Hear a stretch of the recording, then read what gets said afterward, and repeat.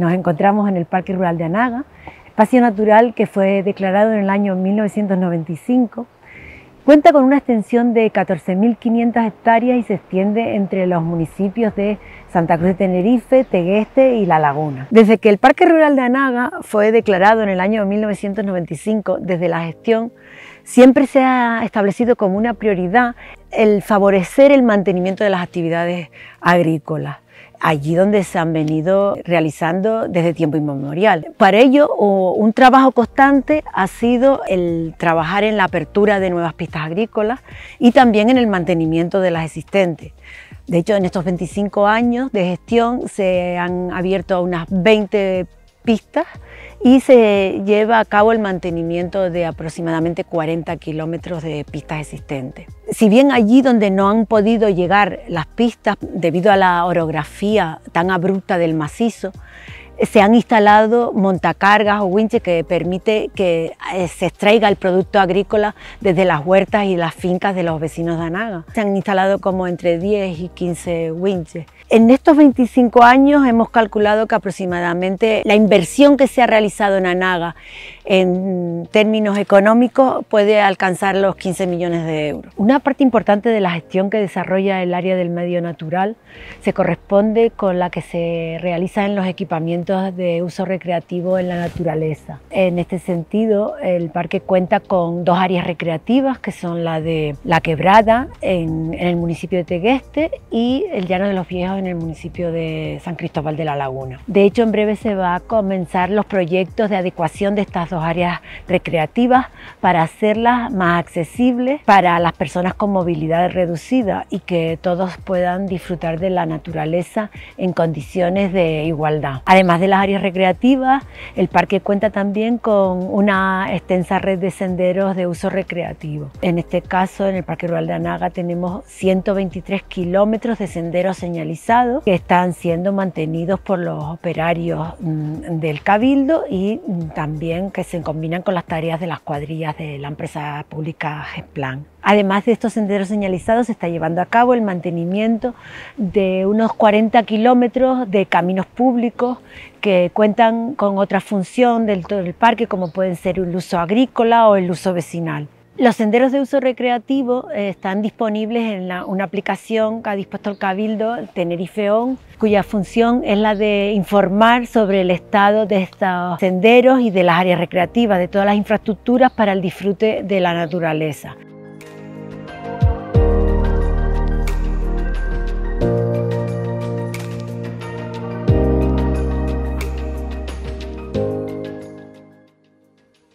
Nuestro personal de educadores ambientales desarrolla una importante labor que para mí es una de las más bonitas y muy necesarias, que es la de transmitir todos los valores que tiene este parque rural, que son muchos y muy variados, naturales, culturales, sociales. Ellos desde el centro de visitantes y haciendo diversas actividades que realizan con grupos escolares y con diversas asociaciones, pueden hacer llegar a la ciudadanía la gran muestra de biodiversidad que tenemos en el Parque Rural de Anaga.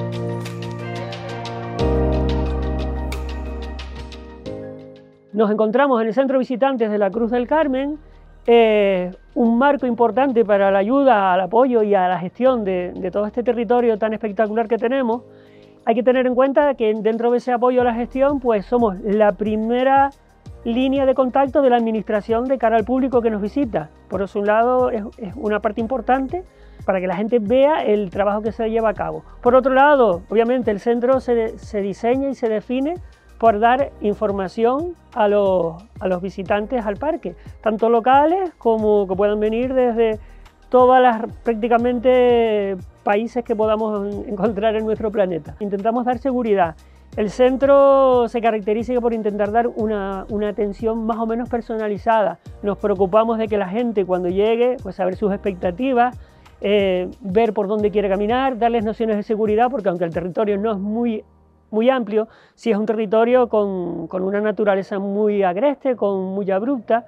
Entonces, todas esas funciones las hacemos desde el centro. Hay una parte que nos gusta mucho, que es cuando podemos interpretar el territorio, porque a veces no solo es dar información de decir la cantidad de especies que hay o hablar de lo que es la laurisilva, sino la importancia que tienen todos los seres vivos que hay dentro del territorio y obviamente también la población, que por eso es un parque rural. Con respecto a funciones que más hacemos en el centro, pues programas de educación ambiental, como pueden ser trabajar con niños, programas que se llevan llevando a cabo desde hace 20 años. Hay que tener en cuenta que el centro casi cumple eh, tres décadas el próximo año. Entonces, desde siempre se ha intentado tener programas de educación ambiental, se han, con los años se han derivado en dos, uno que trabaja más con niños de primaria y otro más con, con niños un poco más grandotes de secundaria. Más funciones del centro podría ser pues, eh, revisar la señalización del parque. Los compañeros ayudan en la señalización del parque, de saber cuándo, pues, si falta alguna señal en algún camino, si hay alguien que se está extraviando en algún punto determinado, de ver si las señales están en buen estado. Y eso también ocurre o se hace con los PR, los, pequeños recorridos, que son caminos homologados, y después está también los autoguiados. Más funciones del centro, pues el trabajar en, la revisión de material divulgativo del parque, que puede ser más directo a la administración o colaboraciones, desde otras administraciones como puede ser la universidad o algunos colectivos, eh, los PFAES o, incluso asociaciones de vecinos o grupos que simplemente de caminantes que quieren conocer el territorio. En ocasiones también hacemos rutas guiadas y de hecho hay rutas un poco más especializadas eh, una que lleva un compañero que es sobre ornitología y que habla un poco de los pajaritos y de las aves de la zona, y otra también que le tenemos mucho cariño y que va dedicada un poco más a gente con diversidad funcional. Entonces, aprovechando uno de los espacios llanos y de los senderos que no tienen prácticamente pendientes del Parque Rural de Naga, como es la pista de las hiedras, pues ahí se ha diseñado una actividad que la ha llevado un compañero a cabo, cuyo origen pues está un poco en ese famoso programa televisivo que es Pasapalabra, Aquí nosotros lo entendemos como pasa para naga o pasa panaga. Entonces, adaptado simplemente y con la importancia que tiene pues para gente que tenga problemas de movilidad o diversidad funcional de todo tipo, que en algún momento todos llegamos a hacerlo, porque cuando nos damos un golpe también tenemos dificultades para movernos, ¿no?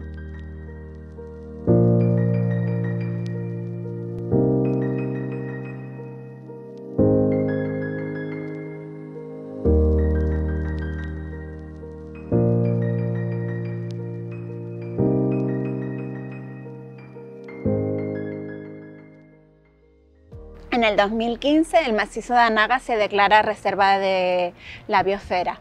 Esto supone que el macizo de Anaga pasa a formar parte de la Red Mundial de Reservas de la Biosfera. Las Reservas de la Biosfera es una figura internacional que se crea a través de la UNESCO para intentar trabajar lo que es la ciencia, la educación y la cultura. A través del programa de Personas y Biosfera se intenta potenciar aquellas zonas emblemáticas en las que hay unos valores mm, naturales y culturales que son dignos de conservación y una relación de la población, de los habitantes de esos sitios que ha conseguido crear un vínculo armonioso entre la naturaleza y el entorno y estas personas que lo habitan.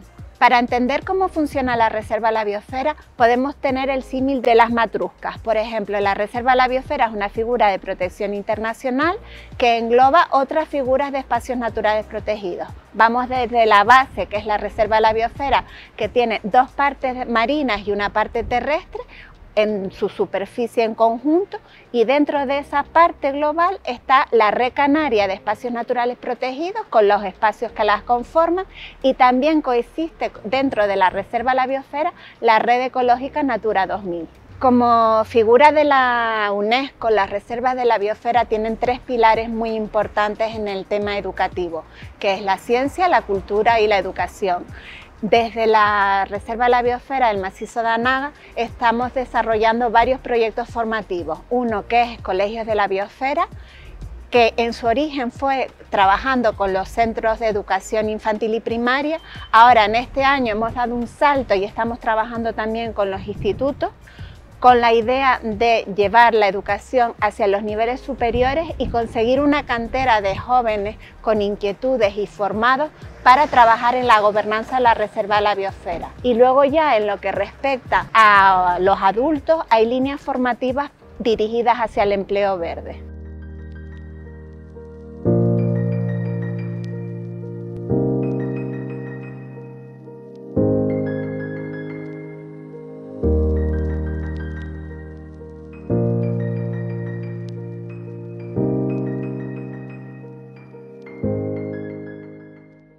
Una parte importante del equipo del Parque Rural lo constituyen los agentes de medio ambiente. Sus funciones y competencias abarcan prácticamente todas las actividades que se desarrollan en el parque. Ellos colaboran con las tareas del personal técnico, ya que realizan informes previos que son necesarios para emitir las autorizaciones que se precisan en el caso de realizar mm, rodajes, filmaciones, competiciones deportivas.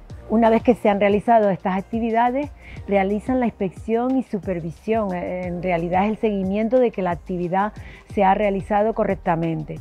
En definitiva, los agentes son los garantes públicos de la custodia y vigilancia del medio natural, de su flora y de su fauna. Los nuevos retos y objetivos que nos planteamos desde la gestión pasan por trabajar el tema del agua. Es importante las redes de riego y los depósitos porque Anaga debe prepararse para mm, las dificultades que nos están suponiendo el cambio climático. Por otro lado, se está trabajando en lograr un equilibrio entre los usos turísticos que se están intensificando y todas aquellas infraestructuras que los soportan como pueden ser las carreteras, los miradores, los núcleos de población, porque es importante que todo ello no altere la vida natural del parque, de sus habitantes y de los usos y costumbres que se han venido siempre sucediendo en este espacio natural protegido. Se está llevando a cabo un plan de movilidad en el que en colaboración con todas las mm, administraciones que tienen competencias en esta materia se van a intentar canalizar los flujos y paliar todos los efectos que